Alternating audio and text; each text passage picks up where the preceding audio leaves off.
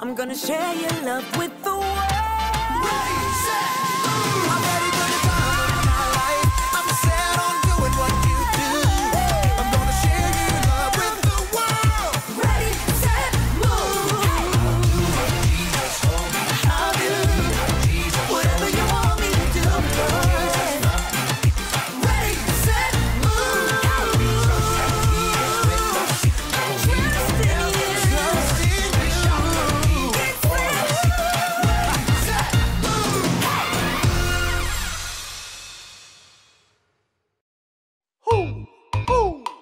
Know what time it is? Time to hear a story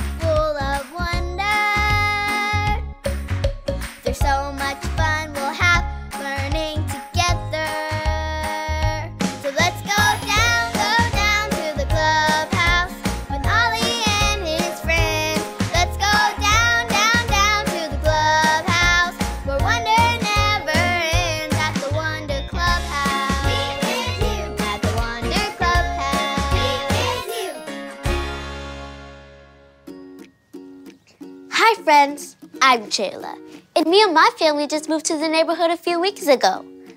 I thought I would be so lonely, but I haven't been lonely at all.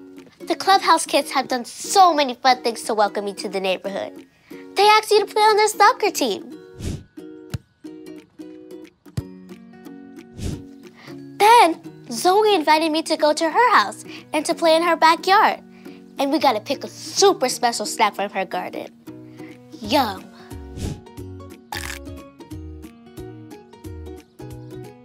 Yesterday, Luca came back with his bike and we rode around the neighborhood all afternoon. After that, Miss Kathy Sue invited me and Zoe to go to her house and help make her a fun snack.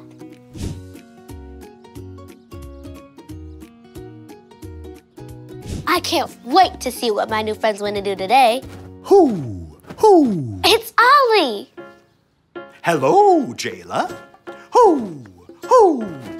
Having fun with your friends, are you? Oh, hi, Ollie. The clubhouse kids have done so many great things to welcome me to the neighborhood. That's wonderful to hear. Who? Who? I know someone else who loved well, too. Listen to this story. Just follow me through. Who? Follow me through, follow me through who? Ollie's got a Bible story for me and you. Yes, I do. Sent with joy from me to you. Oh, hi, friends. I'm Justin the mailman. It's so good to see you. What a happy day to deliver the mail. I just love the mail. Look at this one. It's such a fun way to show people that you love them which is what today's story is all about. Let me just put the story mail in the mailbox.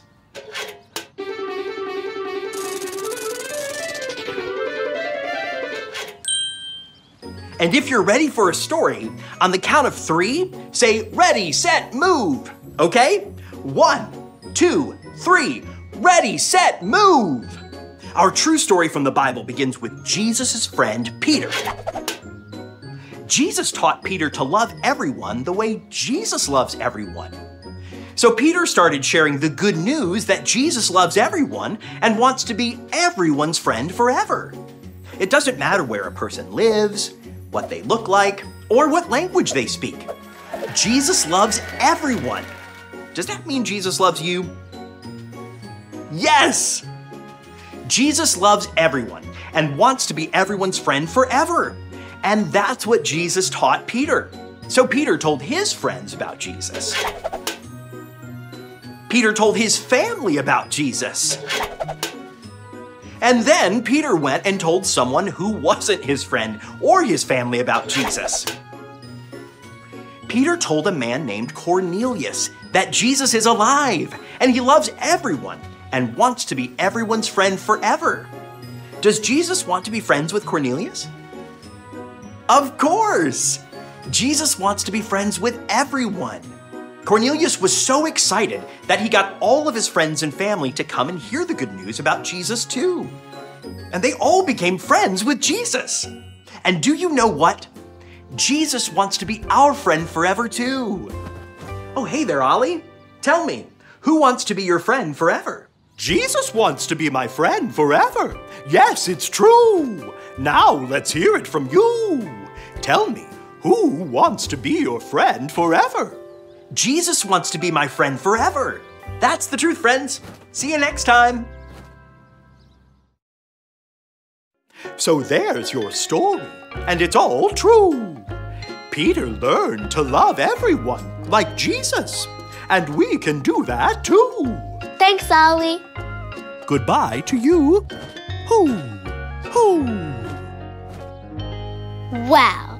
Jesus said to love everyone like Jesus, not just your family and friends. So Peter told Cornelius and his family about Jesus, and they became friends of Jesus too. I think I got the story. Did you get it? If you did, say got it. Get it? Got it! Good. Peyton invited me to come read fun stories with her. You know what? I think the Clubhouse kids have been loving me just like Jesus loves everyone. See you next time.